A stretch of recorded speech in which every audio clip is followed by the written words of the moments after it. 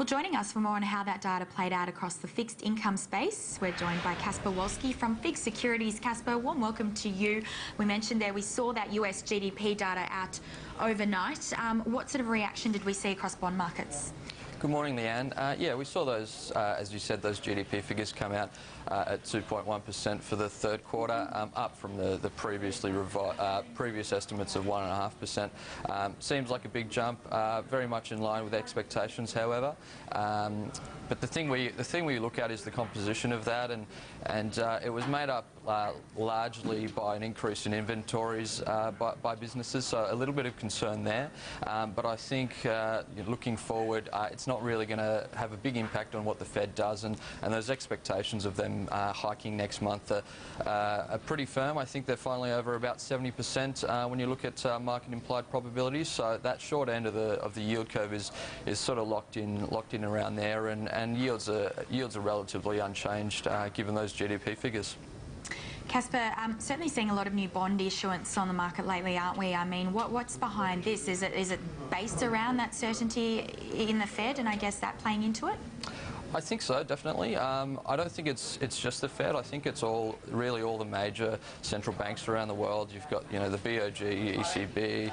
Um, I can rattle off all the all the acronyms, but I think they've they've been really clear in their messaging to the market recently. Um, a bit of a shift away what what we saw a few months ago, and and in terms of what uh, what each of those respective uh, uh, central banks will be doing at their next policy meetings, um, I think is pretty clear. Market has the market uh, has a lot of certainty around that. So uh, from that sense, uh, you know, things are things are relatively calm, um, and those concerns around Greece and China that we saw a few months ago um, have sort of have sort of abated for for the for the most part, and, and volatility has died down. So we're seeing a lot of these issuers return to market if if they if they put plans off uh, uh, earlier in the year, um, and more issuers are, are, coming to market. For for example, NextDC uh, just placed $100 million uh, in an unrated bond um, after having put off plans a little bit earlier in the year to do so. So uh, things are things are looking good for issuers. Um, Casper, you talk there about the, the credit ratings of some of those issuers. What, what relevance does that have? I mean, we saw Qantas um, upgraded last week. Did, did that have a large impact?